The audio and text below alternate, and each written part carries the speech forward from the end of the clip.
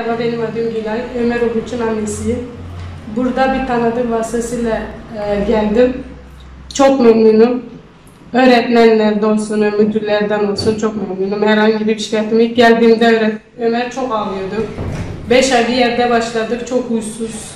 Girene kadar ağlıyordu, çıkıyordu. Yani oradan beş ayımız boşa gitti. Şu an Allah şükür gayet iyiyiz. 3 aydır herhangi bir yani bir sıkıntımız yok. İlk bir aydır biraz zorluk çektik ama şu an çok iyi derste yani öğretmenlerden çok memnunum. Allah razı olsun. Hani her şey şu an yolunda. Tavsiye ederim.